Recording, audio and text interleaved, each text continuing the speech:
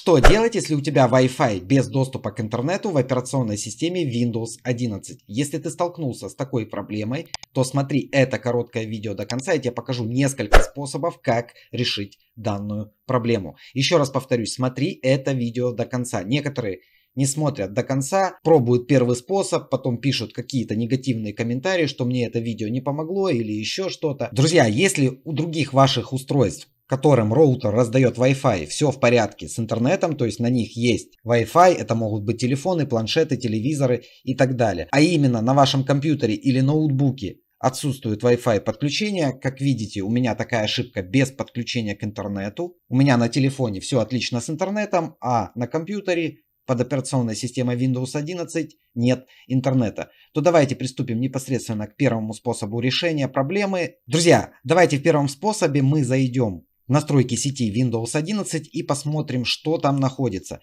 Кликаем по данному значку глобуса правой кнопкой мыши, переходим в параметры сети и интернета. Итак, друзья, мы находимся в разделе сети интернет. Далее мы переходим в раздел Wi-Fi.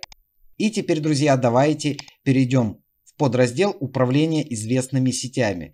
Итак, друзья, тут отображаются все сети, к которым мы подключались с нашего компьютера или ноутбука. Друзья, в первом способе я вам рекомендую сделать следующее. Если ваша Wi-Fi сеть без доступа в интернет, как мы видим, моя Wi-Fi сеть называется Silvio, мы находим в разделе управления известными сетями нашу Wi-Fi сеть и нажимаем забыть. Далее мы пробуем опять же подключиться к этой сети. Хочу также отметить, что после того, как мы забыли данную сеть, нам придется ввести пароль от данной сети заново. Набираем свой пароль, нажимаем кнопку «Далее», пробуем подключиться к нашей Wi-Fi сети.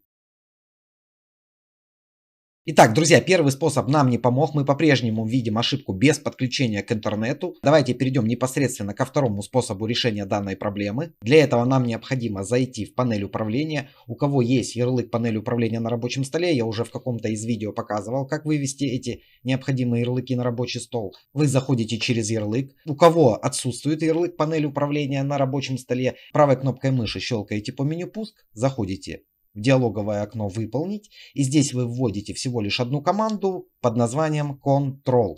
Все команды я оставлю в описании под видео. И нажимаете ОК. Если у вас отображаются категории, вы нажимаете крупные значки и переходите в раздел «Центр управления сетями и общим доступом Windows 11». Друзья, может быть огромное количество причин, почему отсутствует у вас Wi-Fi в операционной системе Windows 11. Я не буду вдаваться в подробности, мы сейчас будем исправлять данную проблему. Итак, друзья, мы находимся в центре управления сетями и общим доступом. Переходим в раздел изменения параметров адаптера. Далее, друзья, два раза кликаем на беспроводную сеть. Мы видим сведения нашей беспроводной сети, кнопку свойства беспроводной сети. Но нас, друзья, интересует раздел свойства адаптера. Переходим в данный раздел. Мы заходим в раздел IP версии 4, два раза кликаем. И обратите внимание, друзья, у нас стоят значения использовать следующий IP-адрес. Друзья, если вы играли с какими-либо настройками VPN или настройками локальной сети, вы могли по ошибке ввести сюда неправильные данные, и из-за этого у вас пропал Wi-Fi. Ставите галочку «Получить IP-адрес автоматически» и «Получить адрес DNS автоматически». И нажимаете «Ок». Здесь вы также нажимаете «Ок». И обратите внимание, пакеты у нас начали отправляться. Давайте проверим. Как мы видим, у нас теперь появился интернет. Можем зайти на какой-нибудь сайт. Как мы видим, все у нас работает. Wi-Fi у нас появился на нашем компьютере.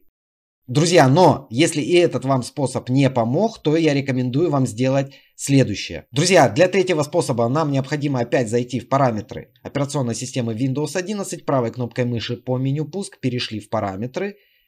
Теперь нам необходимо сбросить настройки сети. Мы переходим в раздел «Сети и интернет». Переходим в раздел «Дополнительные сетевые параметры». Здесь и будет находиться волшебная кнопка, которая сбросит настройки сети на настройки по умолчанию. То есть обратите внимание на вкладку «Сброс сети». Windows 11 восстановит заводские параметры всех сетевых адаптеров. То есть у нас есть сетевой адаптер, например, Wi-Fi.